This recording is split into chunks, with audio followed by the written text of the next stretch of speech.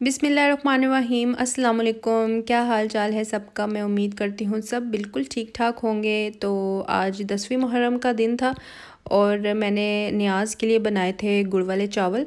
तो उसकी रेसिपी मैं आप लोगों के साथ शेयर करती हूँ। तो बिल्कुल सिंपल तरीके से मैंने बनाए हैं, मुझे उम्मीद है आपको अच्छे लगेंगे। तो उसके लिए मैंने एक किलो गुड़ लिया है और तीन कप जो बड़े कप होते हैं वो चावलों के थे।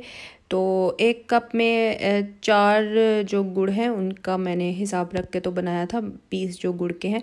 तो अब मैंने पानी में, दो कप पानी में जो दो कप पानी डाल के तो इसकी मैं वो तैयार कर लूँगी, शीरा इसका तैयार कर लूँगी और साथ ही चावलों के लिए भी पानी मैंने बॉईल होने के लिए रख दिया है।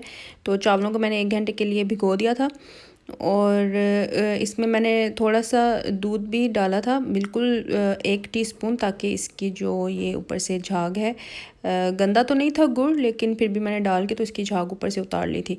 और ये बादाम और किशमिश है मेरे पास हाफ़ हाफ़ कप होंगे दोनों और जितने भी आपका दिल करे, अच्छे लगते हैं, बादाम और किशमिश, दोनों ही चावलों में अच्छे लगते हैं, गुड़ वाले चावलों में। तो अब मैंने पानी को हल्का सा इसके बबल्स बनना शुरू हो गए थे तो साथ ही मैंने इसमें चावल शामिल कर दिए हैं और इनको मैं हाफ़ कुक करूँगी, क्योंकि बाकी जो है वो मैं उसमें शीरे में ही उनको पकाऊँगी, जो गुड़ का मैंने शीरा बनाया है, उसमें मैं इसको पकाऊँगी। अगर इसको मैं ज़्यादा पका लूँगी तो फिर ये बिल्कुल ही इसका जो है वो खिचड़ी सी बन जाएगी तो खड़े खड़े चावल अच्छे लगते हैं, मीठा जो हो। तो अब चावल जो है इनको मैंने स्ट्रेन कर लिया है और इसी में मैंने जो कढ़ाई है उसी में मैं डाल रही हूँ बटर और अगर आपके पास घी है तो आप घी इसमें डाल लें क्योंकि बटर और घी ही अच्छे लगते हैं ज़रदा हो गया या ऐसे गुड़ वाले चावलों में। तो इसको मेल्ट कर लिया मैंने और ये एक कप होगा बटर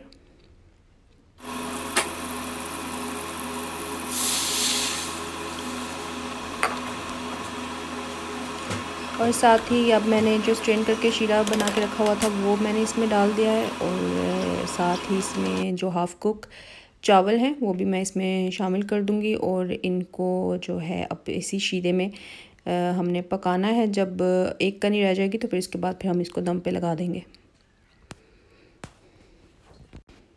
इस स्टेज पे अच्छी तरह से मिक्स करना है क्योंकि कोई भी चावल जो है वो ऐसे ड्राई ना रहे। सारे ही शीरे में अच्छी तरह से मिक्स करने हमने ताकि सबके ऊपर बराबर इसका कलर आ जाए चावलों का। तो अच्छी तरह से इनको मिक्स करेंगे तो फिर उसके बाद हम इसको पानी ड्राई होने के लिए इसको कवर करके तो पका लेंगे।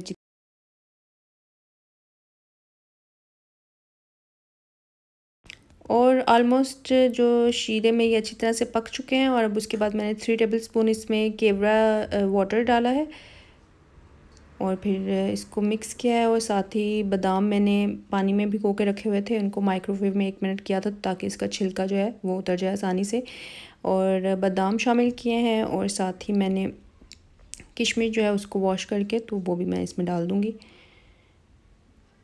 और अगर आपके पास ड्राई कोकोनट है जो स्लाइस में कटी होती है, वो भी इसमें अच्छी लगती है, लेकिन वो मुझे नहीं अच्छी लगती लेकिन अगर आप लोगों को अच्छी लगती है तो आप ज़रूर इसमें शामिल करें, वो भी मज़े की लगती है इसमें।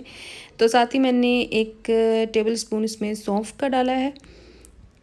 और फिर इसके बाद मैं इसको कवर करके तो दम पे पका लूँगी। जब तक ये दम अच्छी तरह से इसकी स्टीम बनेगी तो फिर ये अच्छे से खिले खिले से बनेंगे चावल। तो स्टीम के लिए इसको अच्छी तरह से कवर कर रही हूँ मैं फॉइल के साथ और ऊपर कोई वज़नी चीज़ रख देंगे। तो ये जी अब हो गए हैं। दस मिनट बाद मैंने इसका जो है दम किया था चेक तो अभी थोड़ा सा मुझे लग रहा था, थोड़ा अभी इसमें है थोड़ी सी पानी पानी सा लग रहा था मुझे। तो फिर इसके बाद दोबारा मैंने इसको पाँच मिनट के लिए दम पे लगाया था। तो उसके बाद ये अच्छी तरह से जो है ड्राई हो गया था सब इसका जो पानी था। तो चावल हमारे हो गए हैं तैयार और, अब मैंने इसके लिए थोड़ा सा खोया भी बनाया था घर में ही तो ऐसे ही मेरा दिल चाह रहा था, मैंने कहा थोड़ा सा ऊपर खोया भी डालूँ तो वो भी मैंने बना लिया था ड्राई मिल्क से।